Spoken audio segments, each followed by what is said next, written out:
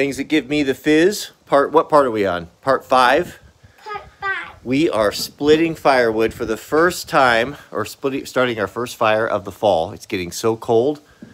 The Harbor Freight axe has made it up into the house as our primary splitter.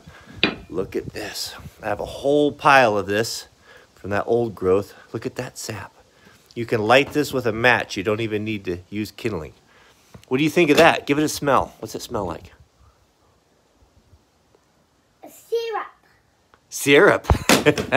This is pure Douglas fir. Pure Douglas. Yeah, this is a tree of your homeland.